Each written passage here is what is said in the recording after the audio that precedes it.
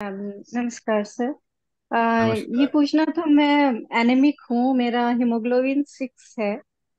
बहुत हम्म। सालों से है मेरा जनरेशन ही नहीं होता है फाइब्रॉइड्स है। तो धीरे हम्म। धीरे बॉडी राइट नाउ मैं फोर्टी टू की हूँ बहुत सारे बॉडी में प्रॉब्लम्स आते जा रहे हैं लाइक मसल्स स्पैज्म बोलते हैं तो ऐसा लगता है जैसे अटैक आ गया है। और ब्लड जनरेशन नहीं हो रहा है तो बहुत तकलीफें बढ़ जा रही है बॉडी में। बहुत जल्दी अ, थक जाती हैं। हम्म डिस्टोनिया जैसे हम कहते थे ना पहले अनकंट्रोल्ड स्पाज्म की है।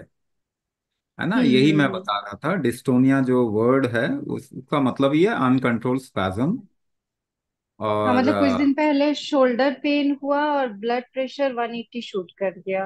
जो मेरी ज़िंदगी में कभी नहीं हुआ था। मुझे खुद समझ में नहीं आया क्या हो गया और फेंट होने की हालत हो गई थी। हम्म अगर ब्लड प्रेशर नहीं बढ़ता तो आप फेंट हो जाते आपके शरीर अच्छा। ने आपको बचा लिया। वो ओके। ब्लड प्रेशर अब सपोज़ कीजिए आप गार्डन में पानी डाल रहे हो है ना? पाइप से जी। पानी जी डाल और पीछे से प्रेशर कम है पानी का। तो थोड़ा हम्म। दूर अगर आपको पानी पहुंचाना है तो क्या करना पड़ता है आपको? वो पाइप का हाँ जो वो सिरा है पाइप का ना उसको ऐसे दबाते हैं ना? जी जी बिल्कुल बिल्कुल। जिससे हाँ प्रेशर हाँ। बढ़ता है। जी राइट राइट। है ना? तो अगर आपके बॉडी में फ्लो ठीक नहीं है तो बॉडी प्रेशर बढ़ाएगा ना फ्लो ठीक करने के लिए? नहीं तो शरीर खत्म हो जाएगा। अच्छा ओके। अब आप उसको अच्छा गलत अच्छा। बोल रहे हैं। ये कोई बात नहीं है हम सब हमें ना फिर एक्चुअली हाँ बॉडी फिरंगियों के चक्कर में पड़े हुए। बेसिक थिंग होनी चाहिए हमें मालूम ही नहीं है बॉडी लिटरेसी क्या नहीं होती बेसिक है। थिंग तो आराम से हो जाता अगर आपको पढ़ाई नहीं करवाया जाता तो। एजुकेटेड पीपल इंटेलिजेंट थोड़ी होते हैं। जी है बिल्कुल बिल्कुल सही हार्वर्ड बोल का रहे हैं आप। हार्वर्ड हार्वर्ड का रिसर्च है कि twenty five years of education pulls down your intelligence by seventy five percent यानी आपका सेवेंटी फाइव सही है परसेंट एकदम इंटेलिजेंस खत्म कर देता।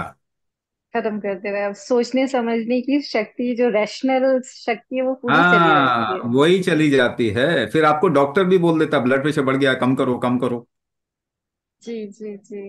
डॉक्टर ने सौ साल में किसी का ब्लड प्रेशर हार्ट डिज़ीज़ का प्रॉब्लम ठीक नहीं किया मगर वो सारे ट्रीटमेंट वही कर रहे हैं। जी बिल्कुल। अरे सर बिज़नेस बन गया है पूरा। मैं हॉस्पिटल में एडमिट अरे हो गई सलाइन लग गया। छोड़ ही हाँ। नहीं रहे थे हॉस्पिटल से ये हालत हो गई। कुछ भी बोले जा रहे हाँ। तो बिज़नेस बिज़नेस ही है वो वो ट्रीटमेंट था कब ये तो बताओ। आप लोग सोच रहे थे कि ये तो ट्रीटमेंट है। वो तो हमेशा से बिज़नेस ही हाँ। है। हाँ समझ में वो तो आता है बिज़नेस है लेकिन सोल्यूशन समझ में नहीं आता। वो तो नहीं क्योंकि ग्रेटफुल उन्होंने कि, बहुत फील किसी कर रही हूँ कि आपके बारे में पता चला। देखिए वो ना उन्होंने कोई अल्टरनेट सॉल्यूशन छोड़ा ही नहीं ना सबको खत्म कर दिया। हाँ बिल्कुल। है ना? तो ये कहानी ऐसी है कि आप कह रहे मेरा ब्लड प्रेशर शूट गया आपके बॉडी ने बचा लिया। अच्छा। दूसरी बात एनेमिक जो भी है ना उनका दो इशू है। एक तो लिवर का हमेशा स्लगिश लिवर होता है। लिवर जो है प्रॉपरली हम्म काम नहीं कर हम्म रहा होता है और दूसरा जो होता है उनके बॉडी में एब्जॉर्प्शन जी शरीर के राइट अंदर एब्जॉर्प्शन फैक्टर जो है ना वो वीक होता है। हमारे हम्म। पास में ऐसे बहुत लोग हैं जो कि जिनका एचबी काउंट कम आता था मगर कुंभक करने के बाद में वो बढ़ गया। ऐसे भी लोग हैं जिनका थर्टी ईयर से कभी एचबी काउंट ज़्यादा नहीं बढ़ा। छह के हम्म ऊपर गया ही हम्म। नहीं वो आज ग्यारह के ऊपर हैं। ओके। ठीक है ना? तो इसमें समझ दो में आ चीज़ रहा है जी मुझे वो हाँ। पता चला गट हेल्थ मेरी अच्छी नहीं है इसलिए बॉडी में जो भी खा रही हूँ एब्जॉर्ब नहीं हो रहा है एसिमिलेट नहीं हो रहा है। Second liver grade one liver हाँ फैटी लीवर का भी प्रॉब्लम है। तो देखो गट दोनों हेल्थ रीजन खराब तो सभी का ही है। इस वक्त में सभी का गट हेल्थ खराब है मगर एब्जॉर्प्शन फैक्टर जो है ना वो गट हेल्थ की वजह से ही नहीं है। That is one of the things अच्छा। हाँ आपके शरीर में कोई भी चीज़ एब्जॉर्ब होती है ना वो प्रेशर में होती है। अगर प्रेशर ठीक से नहीं बन रहा तो एब्जॉर्ब नहीं होगा। अब आपको देख लीजिए बॉडी ने प्रेशर बना के आपको बचाया। हम्म तो हम्म आपके बॉडी में वीकनेस तो पहले से ही है। यानी प्रेशर ठीक से नहीं बन रहा है। उसी में ट्रांसपोर्टेशन या एब्जॉर्प्शन होता है। ठीक है ना? तो लिवर को अगर हम और लिवर बहुत जल्दी से ठीक होता है। अगर आपके शरीर की एनर्जी बढ़ जाएगी ना तो लिवर बड़ी जल्दी ठीक होता है। ओके हाँ और कोई भी केमिकल खाएँगे नहीं इवन पैरासिटामोल और हम्म पेन हम्म। किलर और एंटीबायोटिक जो कि बहुत कॉमन है। जरा सा कुछ हुआ एंटीबायोटिक खा लिया उससे लिवर डैमेज होता ही होता।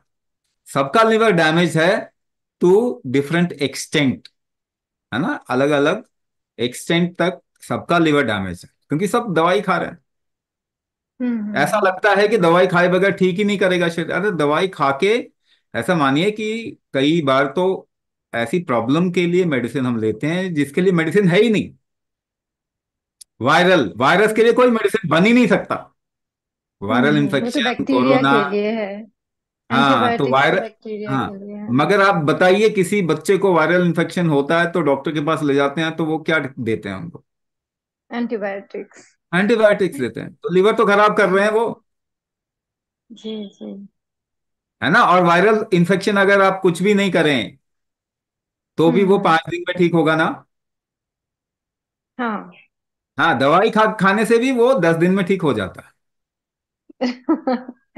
जी। मगर आपको दवाई खाना है क्योंकि किसी पे तो उसकी रिस्पॉन्सिबिलिटी डालनी किसने मुझे ठीक किया?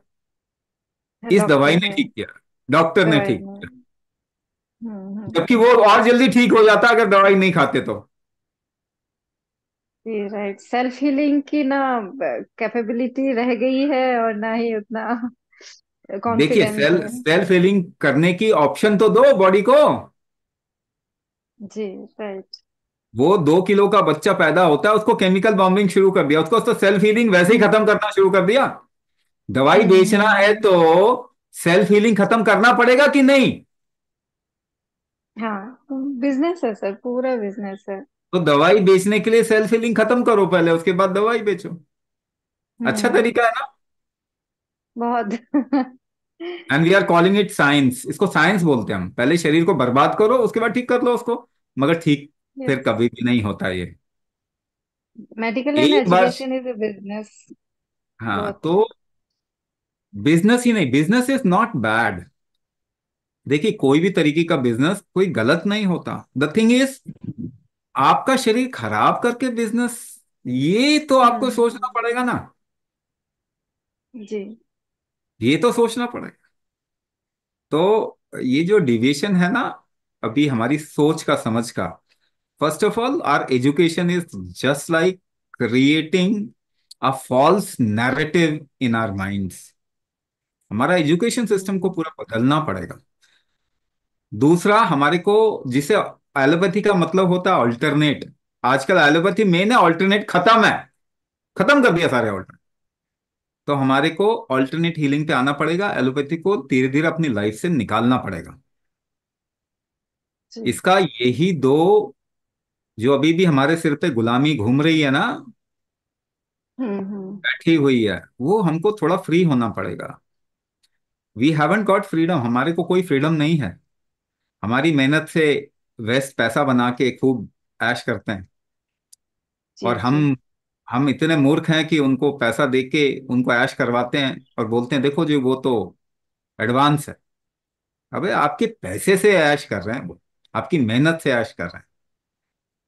ये सब भी जो है ना ये सब धीरे धीरे चेंज होगा बट अगले दस पंद्रह साल में आप देखेंगे इसके अंदर बहुत बदलाव आएगा। मगर सबसे पहले आप लोग थोड़ा फ्री होना शुरू कर दें अपने दिमाग से। है ना? कोई भी कुछ भी अंग्रेज़ी में बोल देता है तो उसका मतलब ये नहीं कि सही बोलता है वो। अंग्रेज़ी में बोला तो गलत ही बोला ऐसे मान के चलो। आपकी लोकल भाषा में बोलेगा तो सही बोलेगा। ठीक है? कम से कम इतना भी अगर फ्रीडम आने लग जाए ना तो हम देखेंगे और शरीर को गलत मत बोलिए। ये जो भी करता है ना ये अपने को बचाने के लिए करता है। शरीर हमारा गलत हो ही नहीं सकता। यही बचाता है हमको कोई और नहीं बचा सकता। और हम क्रेडिट किसी और को देना चाहते हैं दैट्स आर प्रॉब्लम है ना? हार्ट अटैक से कभी भी किसी भी मेडिसिन ने किसी को भी नहीं बचाया। शरीर नहीं बचा, क्योंकि चार मिनट देता है आपका बॉडी। चार मिनट, अगर बचाना होगा, बचा लेगा। खत्म करना होगा, कोई दवाई काम नहीं आती। लेकिन आप क्रेडिट हमेशा देते हो। और हॉस्पिटल पहुँचने के बाद डॉक्टर फट से आपका ऑपरेशन करेगा, बोलेगा, सही टाइम पे पहुँच गए, नहीं तो खत्म हो जाते। आप जिस, जिसने आपको बचाया, उसको क्रेडिट दे ही नहीं रहे हो। गलत जगह क्रेडिट जाएगा, गलत जगह पैसा जाएगा तो गलत ही हेल्थ होगा हेल्थ का कबाड़ा ही होगा। ये भी हमको समझना पड़ेगा। So we should start investing in something which empowers your body not in something which weakens your body आपका शरीर, जो आपके शरीर को एम्पावर करता है, उसमें इन्वेस्ट करो। बीमारी में इन्वेस्ट कर रहे हैं आप तो बीमार हो रहे हैं। हेल्थ में इन्वेस्ट करो हेल्दी हो जाओगे। इतना सिंपल फॉर्मूला है।